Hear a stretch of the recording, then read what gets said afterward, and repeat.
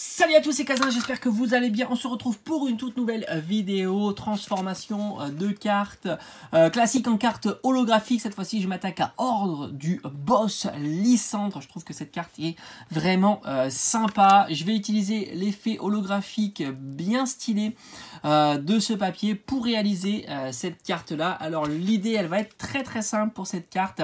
On va pas se casser la tête. On va tout simplement enlever le fond, c'est tout. On va garder évidemment Lysandre sur son fauteuil et euh, son euh, bureau. Alors on aurait pu imaginer aussi faire briller le bureau, mais ça risque d'être assez euh, compliqué. Voilà, donc on va se focaliser sur le background et, et on se retrouve comme d'habitude après les images de la réalisation.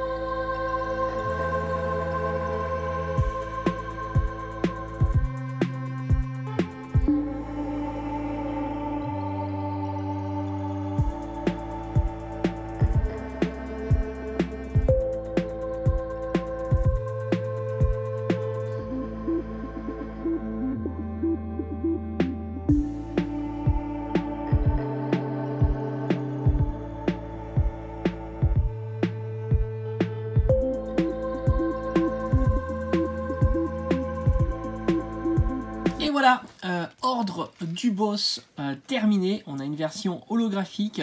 Euh, j'aime bien ces effets sphériques comme ça.